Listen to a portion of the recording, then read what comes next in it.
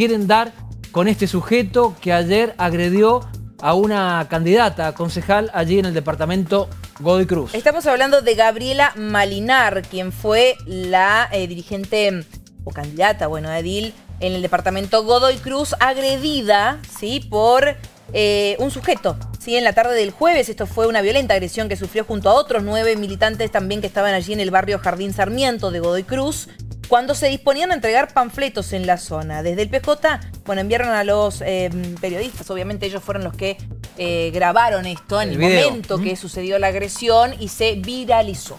La justicia está buscando a este hombre en todo el territorio provincial. Se han realizado un par de allanamientos para intentar encontrarlo. No se sabe aún a dónde está escondido, pero a través de ciertas comunicaciones que hay están intentando localizarlo en esta jornada. Estamos hablando de este hombre, Rodrigo Aznares, quien atacó en la tarde de ayer a esta candidata a concejal.